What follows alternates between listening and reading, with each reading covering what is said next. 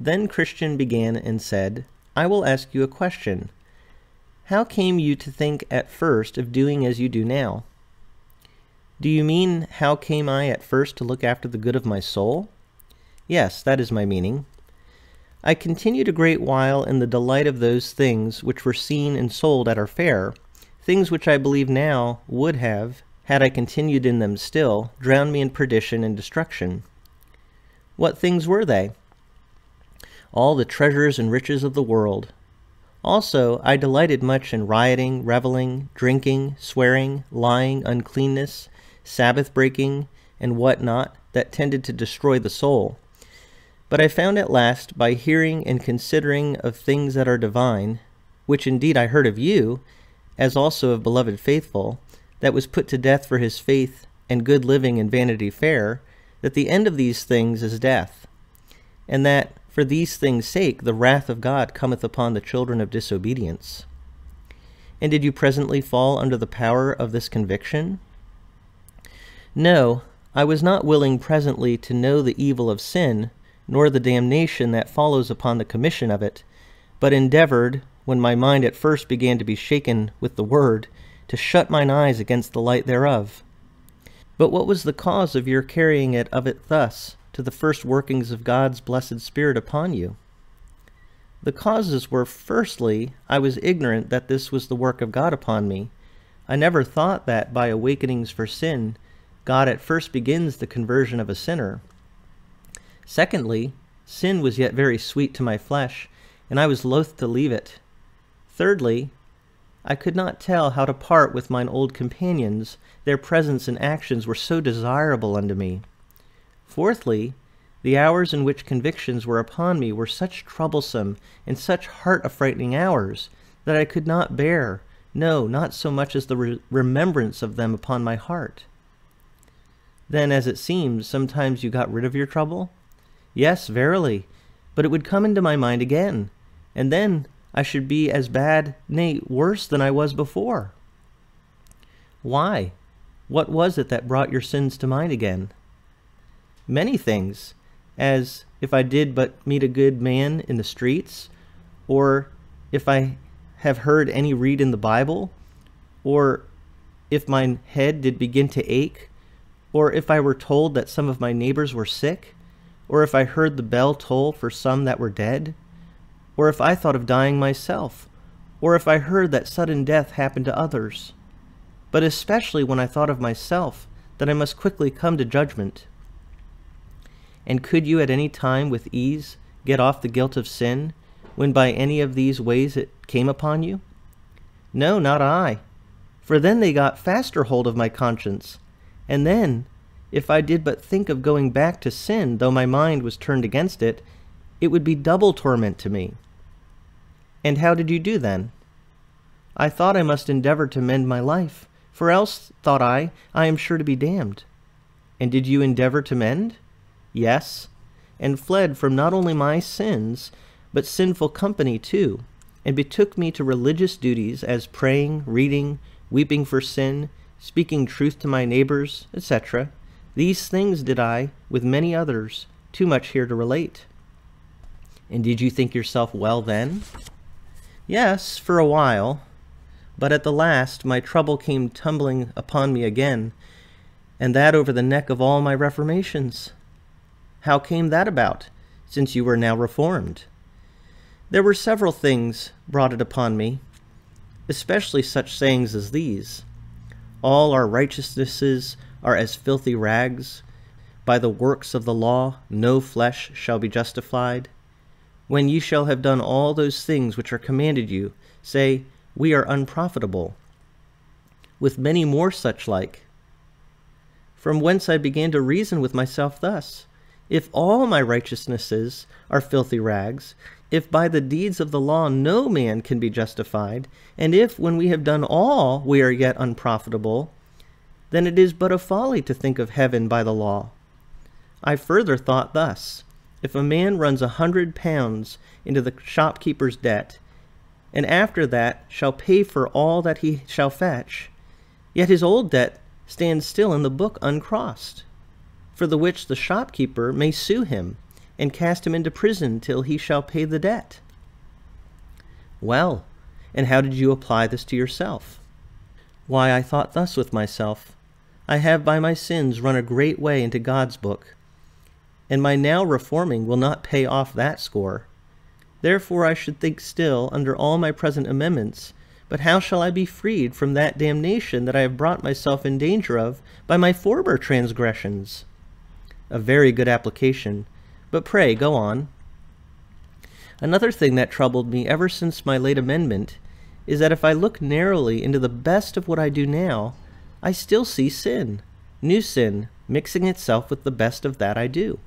So that now I am forced to conclude that notwithstanding my former fond conceits of myself and duties, I have committed sin enough in one duty to send me to hell, though my former life had been faultless. And what did you do then? Do? I could not tell what to do, till I brake my mind to Faithful, for he and I were well acquainted, and he told me that unless I could obtain the righteousness of a man that had never sinned, neither mine own nor all the righteousness of the world could save me. And did you think he spake true? Had he told me so when I was pleased and satisfied with mine own amendment, I had called him fool for his pains. But now, since I see mine own infirmity, and the sin which cleaves to my best performance, I have been forced to be of his opinion.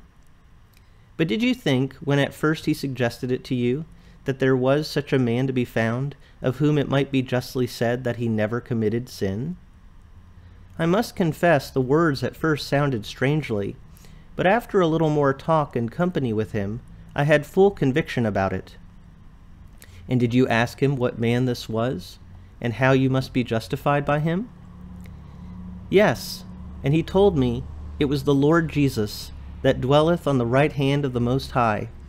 And thus, said he, you must be justified by him, even by trusting what he hath done by himself in the days of his flesh, and suffered when he did hang on the tree. I asked him further how that man's righteousness could be of that efficacy to justify another before God. And he told me he was the mighty God, and did what he did, and died the death also, not for himself, but for me, to whom his doings and the worthiness of them should be imputed if I believed on him. And what did you do then? I made my objections against my believing, for that I thought he was not willing to save me. And what said Faithful to you then? He bid me to go to him and see. Then I said, It was presumption. But he said, No, for I was invited to come. Then he gave me a book of Jesus inditing to encourage me the more freely to come. And he said concerning that book, that every jot and tittle thereof stood firmer than heaven and earth. Then I asked him what I must do when I came, and he told me I must entreat on my knees, with all my heart and soul, the Father to reveal him to me. Then I asked him further how I must make my supplication to him. And he said, Go, and thou shalt find him upon a mercy seat, where he sits all the year long to give pardon and forgiveness to them that come. I told him that I knew not what to say when I came, and he bid me to say to this effect God, be merciful to me a sinner, and make me to know and believe in Jesus Christ. For I see that if his righteousness had not been, or I have not faith in that righteousness, I am utterly cast away. Lord, I have heard that thou art a merciful God, and hast ordained that thy Son Jesus Christ should be the Saviour of the world, and moreover, that thou art willing to bestow him upon such a poor sinner as I am. And I am a sinner indeed. Lord, take therefore this opportunity and magnify thy grace in the salvation of my soul, through thy Son Jesus Christ. Amen. And did you do as you were bidden? Yes, over and over and over. And did the Father reveal his Son to you? Not at the first, nor second, nor third, nor fourth, nor fifth. No, nor at the sixth time either. What did you do then? What? Why, I could not tell what to do. Had you no thoughts of leaving off praying? Yes, a hundred times twice told. And what was the reason you did not? I believed that that was true which had been told me, to wit, that without the righteousness of this Christ, all the world could not save me, and therefore thought I with myself, If I leave off I die, and I can but die at the throne of grace. And withal this came into my mind, Though it tarry, wait for it, because it will surely come, it will not tarry. So I continued praying until the Father showed me his Son. And how was he revealed to you? I did not see him with my bodily eyes, but with the eyes of mine understanding. And thus it was.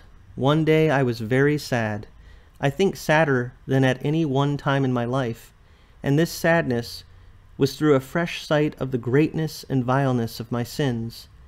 And as I was then looking for nothing but hell and the everlasting damnation of my soul, suddenly, as I thought, I saw the Lord Jesus look down from heaven upon me, saying, Believe on the Lord Jesus Christ, and thou shalt be saved. But I replied, Lord, I am a great, a very great sinner. And he answered, My grace is sufficient for thee.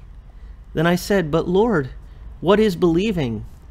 And then I saw from that saying, He that cometh to me shall never hunger, and he that believeth on me shall never thirst. That believing and coming was all one. And that he that came, that is, ran out in his heart and affections after salvation by Christ, he indeed believed in Christ.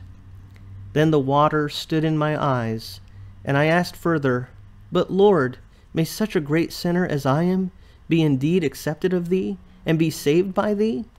And I heard him say, And him that cometh to me I will in no wise cast out. Then I said, But how, Lord, must I consider of thee in my coming to thee, that my faith may be placed aright upon thee? Then he said, Christ Jesus came into the world to save sinners. He is the end of the law for righteousness to everyone that believes. He died for our sins and rose again for our justification. He loved us and washed us from our sin in his own blood. He is the mediator between God and us. He ever liveth to make intercession for us. From all which I gathered that I must look for righteousness in his person and for satisfaction for my sins by his blood. That what he did in obedience to his Father's law, and in submitting to the penalty thereof, was not for himself, but for him that will accept it for his salvation, and be thankful. And now was my heart full of joy, mine eyes full of tears, and mine affections running over with love to the name, people, and ways of Jesus Christ. This was a revelation of Christ to your soul indeed. But tell me particularly what effect this had upon your spirit. It made me see that all the world, notwithstanding all the righteousness thereof, is in a state of condemnation. It made me see that God the Father, though he be just, can justly justify the coming sinner. It made me greatly ashamed of the vileness of my former life, and confounded me with the sense of my own ignorance for there never came thought into my heart before now that showed me so the beauty of Jesus Christ. It made me love a holy life and long to do something for the honor and glory of the Lord Jesus. Yea, I thought that had I now a thousand gallons of blood in my body, I could spill it all for the sake of the Lord Jesus.